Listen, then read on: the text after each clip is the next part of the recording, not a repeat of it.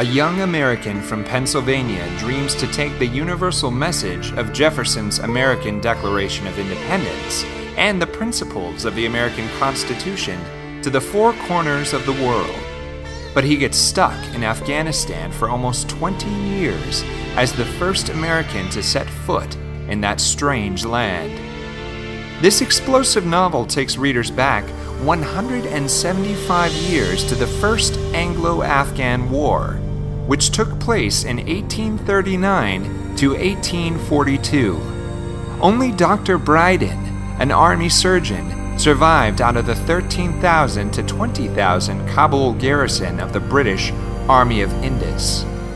The British succeeded in a regime change of the two Afghan kings swapping residences, but failed to conquer its people.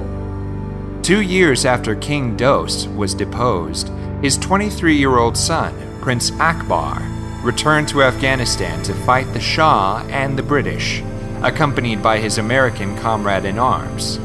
This great hero of Afghanistan was poisoned and died at age 29 as the Grand Wazir of King Dost. Prince Akbar was buried in the North's Blue Mosque, still attempting to unite the North with the South. It's said that those who forget history are condemned to repeat it. Such does not mean that in the present case of Afghanistan, history is absolute and unalterable.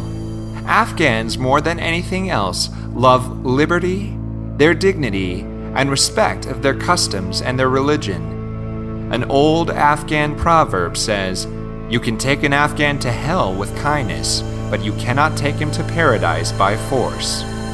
This is how the first American in Afghanistan won the hearts and minds of Afghans and came to be called the American Prince, earning the title of an Afghan Sardar. Available at Amazon.com and other online retailers, as well as directly from the publisher.